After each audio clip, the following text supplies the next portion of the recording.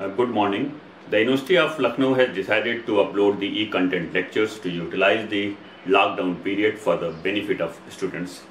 And I am really very very thankful to all the students and the viewers who are continuously demanding to upload more lectures on sedimentology and sequence stratigraphy.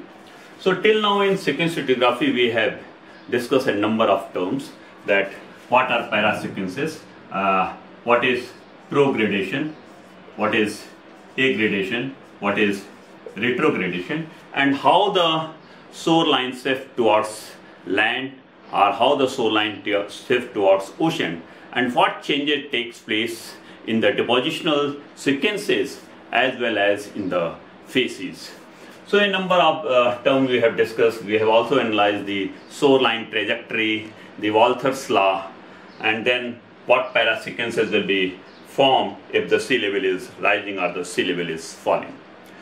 Sequence stratigraphy is basically the stratigraphy which takes place because of the rise and fall in the sea level in the sedimentation pattern. So we have analyzed the sea level, the rate of sea level and if this is the sea level, complete cycle of sea level, so you just see that if this is the cycle of sea level, this is high sea level and this is low sea level and the time is moving in this direction. Then from this place A to this place B, this is fall in sea level or this is the forced regression we have already discussed in the first and second lecture. Then from point B to point this point C, when the sea level just starts rising, this is the rise in sea level, whereas in terms of sequence system tract, this is the low stand system tract. And from this place C to this place D, the sea level is rising. And in terms of system tract, this is from C to D is the transgressive system tract. Again from point D to point E, this is the end of rise in sea level. The sea level is rising and in terms of system tract, this is the high stand system tract. So when the sea level was rising, just the start of rise in the sea level is low stand system tract. When the sea level is rising very rapidly, that is transgressive system tract and when again the sea level rise in the sea level is very slow and that is the end of the rise in sea level that is known as high stand system tract and from point A to B when the sea level was falling that is known as falling stage system tract and this takes place during forced regression. We have already discussed the forced regression, FSST, falling stage system tract, low stand system tract, or this is normal regression. Again, TST, this is transgression, and again, HST, high stand system tract, this is again normal regression. We have already discussed all these terms. So, from point A to B, when the sea level was falling, and the fall in sea level was much more than the rate of sedimentation. In terms of system tract, that is known as falling stage system tract and that takes place during forced regression. From point B to point C, the sea level starts rising, but the rise in the sea level was low. In terms of system tract, this is known as low stand system tract and in terms of transgression and regression, this is known as normal regression. From point C to point D, the sea level was rising very rapidly. In terms of system tract, this is known as transgressive system tract, and in terms of transgression and regression, this is known as transgression. From point D to point E, this is the end of the rise in sea level. In terms of system tract, this is known as high stand system tract, and in terms of transgression and regression, this is known as normal regression.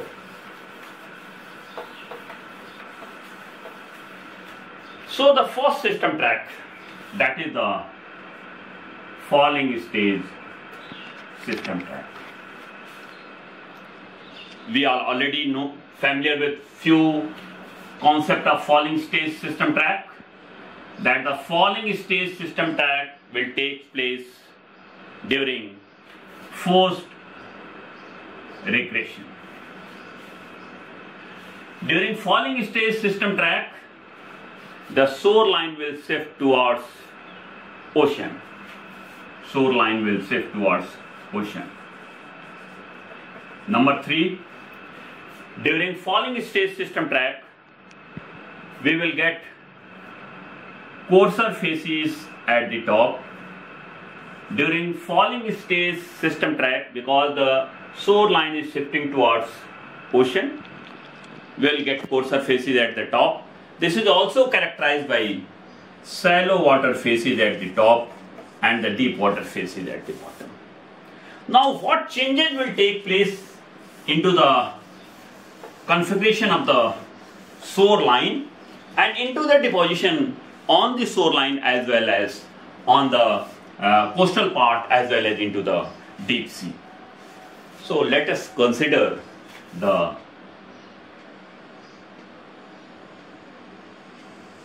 basin floor. This is continental shelf, this is continental slope and this is deep sea plain and this is the sea level.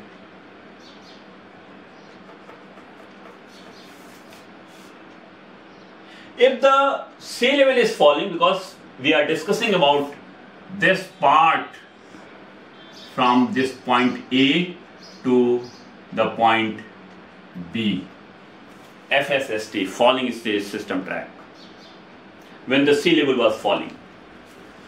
If this is the sea level, this is continental shelf and this is continental slope and the deep sea plain. And if sea level is falling, this was the clinoform. If the sea level has fallen up to this place, now this will change up to this and now the new clinoform will be formed like this. Now again if the sea level has fallen up to this place, now this river will adjust up to this place and new clinoform will be formed. So on the coastal plain, the river will incised here, incision will take place, degradation will take place erosion will take place. It means when the sea level was falling, erosion was taking place on the coastal plain as well as on the continental shelf. And the sediments which were deposited on this part, they are very unstable. And the supply of the sediment was very high because all the terrigenous sediments which were deposited earlier up to this part, now they were transported up to this part and this part is very unstable because the continental slope is very unstable. So the sediments will bypass all these and they will be deposited into the deep sea plain in the form of submarine fans. We all are familiar with the deep sea fan very famous deep sea fan is the Bengal fan. So submarine fans. Why these submarine fans will be formed? Because the terrigenous sediments as well as the sediments which were eroded from the continental shelf, they were supplied up to the deep sea plain. So submarine fans will be formed by turbidity current deposits. Again a low system wedge will be formed because of the debris flow deposits. So the turbidite deposits and this is the debris flow deposits. So what is this? At this part we can see that this is the area of subaerial exposure. This is subaerial unconformity because erosion is taking place. So this is subaerial unconformity. And what is this? This is the base of forced regression.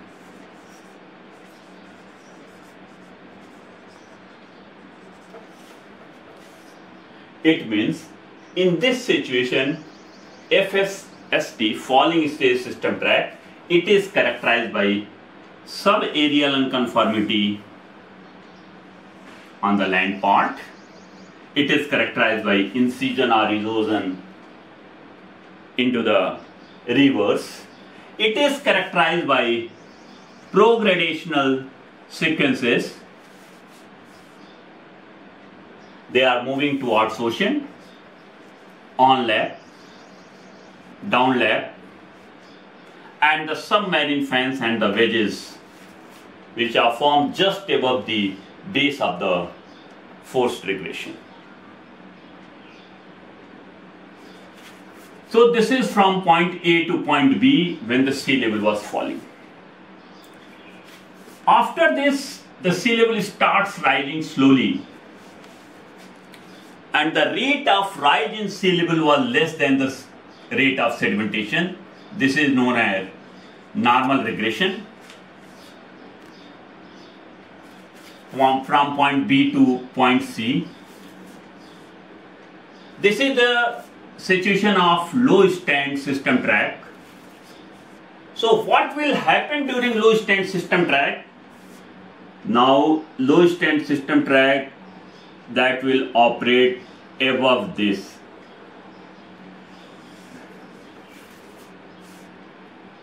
The sea level starts rising slowly if this is point 0.1 this was point 0.2 this was point 0.3 Now this 3 of falling stage system tract is point X for low stand system tract. Now sea level starts rising slowly from X to Y. What changes will take place?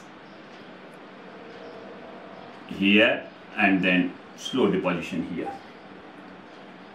From X to Y, again here and slow deposition here. From Y to Z, here and slow deposition here.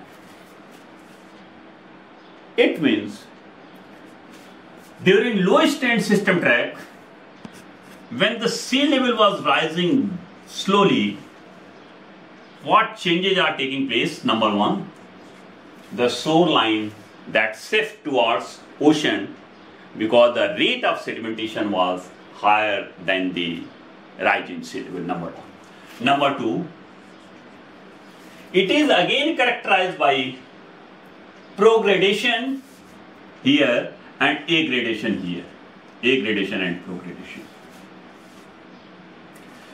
And it is because sea level was falling in just before the start of low stand system tract. So that was characterized by this this is the subaerial unconformity and in this direction we are getting their correlative conformity. So the base of low stand system tract is the subaerial unconformity and their correlative conformity. This correlative conformity is the top of falling stage system tract. So this subaerial unconformity and its correlative conformity is known as sequence boundary number 1. It means low stand system tract is capped within the sequence boundary number 1 and after the end of this low stand system tract which is characterized by the progradation, aggradation, again low stand wedges and after all the deposition of the low stand system tract the sea level starts rising and just the start of the rise in sea level is known as transgressive surface. So, the FSST falling stage system tract is located between subaerial unconformity and the base of forced regression and the sequence boundary number 1 whereas the LST is located between the sequence boundary number 1 and the transgressive surface. The transgressive surface that starts from point C to this point D. This is the transgressive surface when the sea level rise very rapidly.